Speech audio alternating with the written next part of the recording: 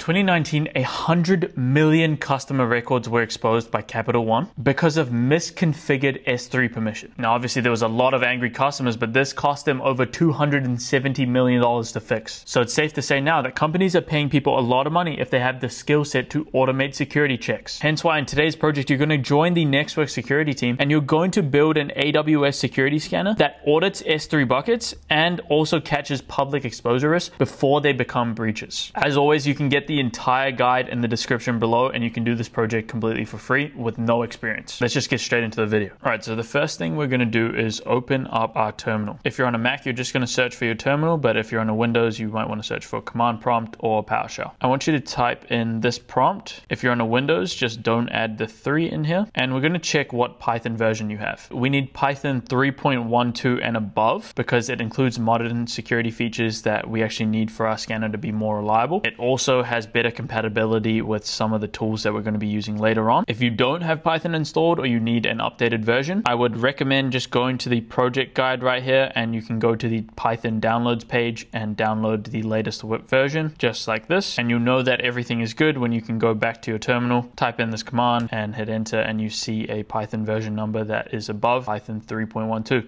Once Python is installed, we actually need to go ahead and install the AWS CLI to interact with AWS from our terminal. Now here, I'm assuming most people are not going to have AWS CLI installed. This is the prompt that you can type in if you want to check. But if you see command not found, that means you don't have AWS CLI installed. And I would again recommend going to the project guide. You can select Mac or Windows here, depending on your operating system. And we're going to copy this in. I'm just going to paste it in the terminal, hit enter, and this is going to download the CLI for us. You'll be required to put in your password here. This is just the password that you use for your laptop. Keep in mind in the terminal, you're not going to be able to see your password, but it's just assuming that you're typing it. The CLI is going to let us use AWS services without actually clicking through the web console. So we don't need to click into S3, set up an S3 bucket in the console. We can actually do this from the terminal. So if that is successful, you should be able to run this command right here and you should see a version number. It should look something like this. Now we need to configure our AWS credentials so that the CLI can actually talk to AWS. Just quickly so that makes a bit more sense, your AWS credentials are your access key ID and your secret access key. They authenticate your code to AWS and it's similar to how you would think about a username and a password. So the security scanner that we're building needs to call the AWS API in order to access our bucket data. And instead of clicking buttons in the console, our scanner is going to do this by sending requests to AWS through the API and then getting data back. Let's keep these credentials secure. We don't want to commit them or share them anywhere else. So let's go back to our terminal and we can run this command right here, AWS STS get caller. And this command uses AWS's security token service to check who you're authenticated as. If your credentials are configured, you're going to see something here, but if you're not, you're going to see something like this. So the first thing that you need to do is, of course, if you haven't already created an AWS account, I'd recommend you need to do that for this project. If you don't know how to, I'd recommend doing this project right here where you set up an AWS account. We'll walk you through everything step by step. But once you are, I want you to log in with an IAM user. If you don't know how to do that, I'll show you how to do that now. So once you've created your account, it should look something like this. So we're going to create a IAM user. So right now we're logged in as a root user and the root user has unlimited access to everything in our AWS account. That is powerful, but it's risky for daily work. So instead we're going to create an IAM user. So I'm going to type in IAM at the top here and let's go click on that and we're going to follow best practices. So from here you can click on users in the left hand side and you can see I already have some IAM users here. We can create a user. You can type in any name here so something like my access key would be fine. We can skip over this management terminal as we're going to be in the console and hit next and we want to attach policies directly. This lets you choose what permissions the user gets. So we will give it admin access right here. This is going to give our user full permission across AWS and that is what we need for building and testing the security scanner. In a real company, you use the rule of least privilege, so you want to give as little access as possible essentially, but for learning, admin access is fine. We can scroll down to the bottom, click next, and then we can create our user. From here, let's click on the one that we just created. We're going to click on security credentials, and I want you to scroll down to this access key part right here. We're going to create an access key, and we're using this in the CLI. Tick the box there, hit next, for the description tag value, you can say something like development access for security scanner and we're going to create the access key. So AWS is going to show you the access key and then also the secure secret access key. This is the only time that we will be able to see that key. If you lose it, you have to create a new key. You can download the CSV file or just store it here for a second, but we're going to go back to the terminal here and we're going to type in AWS configure. And of course, we're going to be needing our access key ID here. So I'm going to copy this in, paste it in the terminal, hit enter, and then our secret access key. I'm going to copy this as well, paste it in the terminal, hit enter. I'm to delete these so that you can't get access to them, but don't try. When I ask for default region name, let's just use US East 1. That's the US East Virginia region and it's where most services are available. So it's a good one to use for by default for us. For default output format, let's use JSON. This makes AWS CLI responses easier to read and pass through. And now the CLI is going to save these values on a hidden file in our computer. So our code will read from these files when it needs to authenticate. But now we can actually verify that the credentials are working. AWS STS get caller identity, hit enter. And if you see something that looks like this, Beautiful. It's worked. This is the JSON output that we want to see. Notice that my ARN shows the user, so my access key here. That confirms that we're in a IAM user and not a root user. If you're seeing any issues here, again, go back to the project guide. It's going to run you through any of the issues. All right, so the next thing we're going to do is open up an IDE. I'm going to go ahead and use cursor here. This is going to give us an organized workspace for our security scanner code. I'm going to create a new folder on my desktop and I'm going to name it AWS-security-guard back into cursor here. I'll make this full screen. I'm gonna open up my project, go onto my desktop, and just open up this empty folder. So now we are going to create a Python virtual environment, and this is going to isolate this project's packages from the system Python. So for example, without a virtual environment here, if you install a Python package, it installs globally. So if you're working on two different projects and one needs Boto 3 version 1.28, meanwhile the other one needs 1.34, you can only have one version installed at a time, and that creates a lot of conflicts. Now with virtual environments, each project is sandboxed. So they don't touch each other and you can install whatever you want inside the virtual environment. So for us, let's press Command J or Control J if you're on Windows, open up the terminal and it automatically starts in the folder that we want it. If you're on Mac, you're gonna run this command right here, Python 3. If you're on Windows, don't add the 3. And you're just gonna go dash M venv. That is going to create your virtual environment in a folder called venv and the dash M part just means that run the venv module and the second venv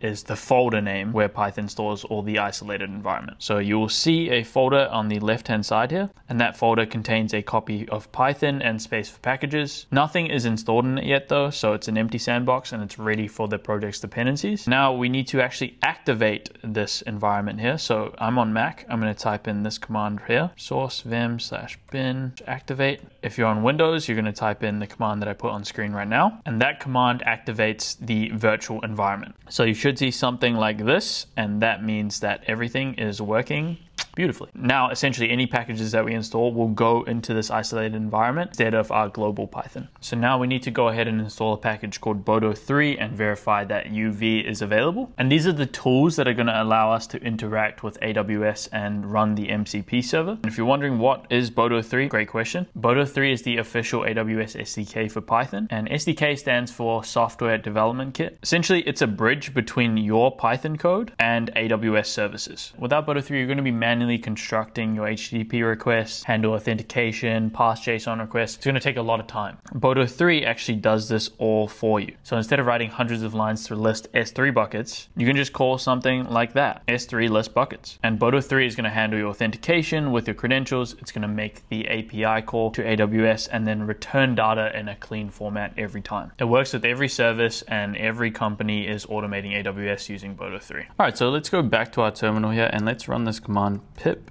install boto or Boto 3. That command uses pip to download the Boto 3 from Python package index and it's going to install it in our virtual environment. We got UV sorted, so go UV dash dash version. You should see it right here. UV is a fast Python package manager that we're going to use to run the AWS MCP server. If it says command not found here, just check the project guide and it'll run you through the download as well. Speaking of the project guide, let's go back to it here. This is how you would download UV, but we actually want to just double check that everything has has been installed. So let's run this. I'm running it for Mac and I can see that things have been installed. This is the command right here for Windows and we can move on to the next step. All right, so next we're gonna go ahead and create a new Python file called scanner.py. This is gonna hold all the code for our security scanner. So in Cursor, I'm just gonna go to the left-hand side right here, create a new file. I'm gonna call this scanner.py.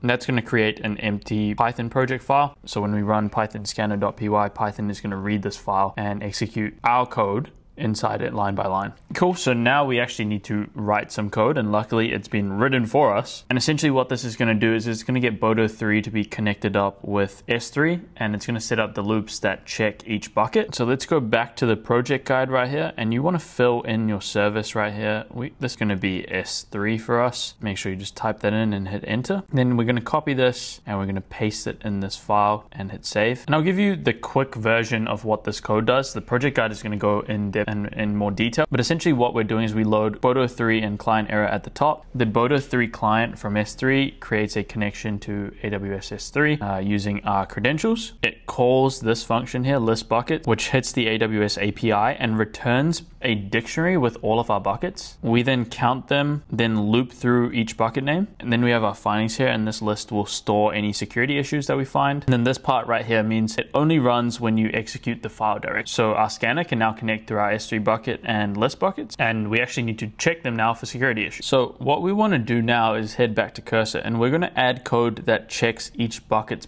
public access block configuration. And this is where we're going to detect all of the security vulnerabilities. So S3 has what we call four public access block settings, and all four of these must be enabled for the bucket to be secure. So we've got block public ACLs, block public policy, ignore public ACLs, and restrict public buckets. If even one of these is disabled, then someone could potentially make this bucket public, and then anyone can access it. All right, so we're gonna add in our security logic, and we can head to the project guide right here. And if we type in public access block configuration, that is our key config. So we can go ahead and copy this in. We're back to cursor here. We're going to look at this line right here, line 17. We're going to go ahead and delete this and we're going to paste in the code here. Now, one thing you've got to be careful about is you should see imports at the top, yes, but try and excepts here should be in the same line. So I can just go back a couple times and now things are looking good. Python won't run if the spacing is wrong and that's a little annoying. So make sure that everything is aligned here. Now, you may be wondering what does this code actually do? And that's a great question. First, it's going to get the security settings from AWS from each bucket. Second, it checks if all four protection settings are enabled. And then third, it handles errors so a broken bucket doesn't crash the entire scan. The try block fetches and checks settings, and the except block catches errors and keeps the scanner running. So from here, we need to connect Cursor to AWS using the MCP server. Now, this is going to let Cursor interact with our AWS account directly through the chat. So MCP stands for Model Context Protocol, and essentially it's just a bridge between Cursor and external tools, and in this case, AWS. AWS. Now the AWS MCP server, that is going to translate our chat requests into actual AWS API calls. So when you ask Cursor something like create a bucket, MCP is going to make it happen using our credentials. So we can go to the top right hand corner of Cursor here. We're going to go to tools and MCPs. And I've already got a couple enabled here, but I'm going to create a new MCP here. So I'm just going to copy this in. I'm then going to add a comma here and paste this in, I can get rid of this right here and this. So it should look something like this. And I can delete those last two. Now, if you didn't have any MCPs here, you would just paste this in and it would work. But if you're appending it, you need to get rid of some stuff and clean it up. If you have any issues at all, just ask Cursor and it'll help you out. For example, I could just say, make sure that this MCP service JSON is correct. And I could even add the MCP JSON. Yep, it's all valid. And now you can see within cursor settings here, the AWS tool is enabled. You might have to restart cursor if your tool is not showing that it's enabled, but I think this is an update that cursor has made. So should be good to go. By the way, what this configuration is saying is it's telling cursor to use UV to run the AWS MCP server. And then cursor can essentially execute commands on your behalf. I'm just going to quit cursor and restart it because sometimes I've had issues with the MCP configuration. So I'll quit out, open it up again, and let's see it go green. There we go, we're all good. So we can check that UV is running here. I'm just gonna run UV version, and you can see that the UV is running And we can also check that our AWS credentials are working by running AWS st get caller identity and we can see that it's working. So everything is working great. So now comes the fun part. We're going to use Cursor's AI to deliberately insecure an S3 bucket. This is going to give us a security issue to detect. So I'm going to open up a command prompt right here. I'm going to say create an S3 bucket named test security demo 12345 without any public access block configuration. So my security scanner will detect it as a critical issue. I'm just going to name this properly. So we're going to go test security demo and I'm actually going to change these numbers here. Just change it to five random digits. I'm just going to add an apostrophe to the end. So create an S3 bucket named test security demo 18965 you can choose any random five numbers without any public access block configuration. So my security scanner will detect it as a critical issue. Now I can go ahead and press enter and cursor will use the AWS MCP, which you can see right here. And you'll see it planning to create a bucket. There we go. so it created the bucket test security demo 1895 and removed its public access block configuration. Here's what will happen when we scan. Try to get the public access block configuration for this bucket, receive a no such public access block configuration and flag it as critical. So let's see if it actually does that. So let's spin up a new terminal. You want to make sure that your virtual environment is all set up and good to go. If you aren't, then I'd recommend just checking the project guide and you just run your activation commands again that we did earlier in the video. And if I'm on Mac, I'm going to type in python3 scanner.py. If I'm on Windows, I'm just going to get rid of this 3. So it's python scanner.py. Cool. And I'm going to hit enter. I'm actually facing an issue here. So I'm going to copy in this code. Uh, I think it's to do with uh, the object here. So I'm just going to say, please, can you help me fix this issue here? And I'm going to copy in the error. And the reason this happened was because in here where I wrote S3 client, it should actually have apostrophes in it, but I didn't do that. So that's why my code did not work. But I'm gonna try run this again and let's see. Found three buckets to scan. Oh my goodness, critical. So I actually found two issues. So I had a warning in here, which means partial protection. So some settings enabled, but not all four. But then I had critical, which means no protection at all. Now, obviously we wanna go ahead and fix these. So we can actually use cursor again to go and help us fix these. So I'm just gonna go up to the chat here. Remember, if you don't have access to chat, just toggle this AI pane on and off. And I'm gonna say, I just ran my scanner.py and found security issues with my buckets. Can you help me fix all critical findings by enabling public access blocks on those buckets? Cool. Cursor then can do its thing. Cursor's again going to use the AWS MCP to generate, to check our buckets first, then generate the AWS CLI commands to fix them. It's going to ask us permission. I'm just going to have a look what it's doing here. So it's scanning the buckets, it's enabling public access blocks. It's created a fix for us and we can just go ahead and say run it now. So it seems to be all good here and we can just go ahead and run the same command that we did before and hopefully we should be seeing no issues here. There we go, scan complete, found zero issues. Let's go. So all buckets are properly protected. This is actually a cool project because I didn't even know that I had two buckets. I'm thankful that that's fixed now. But this really does show you the power of Cursor, MCPs, and our security scanner document that we've created. Again, if this is your first time using Nextwork, make sure that you are filling in your documentation as you go through the project because you will get hands-on documentation that you can share to recruiters across LinkedIn, GitHub, any of these profiles here. And this is the best way to stand out to recruiters. You're actually showcasing your skills. As always, leave a like, subscribe, and I will see you in the next one. Peace.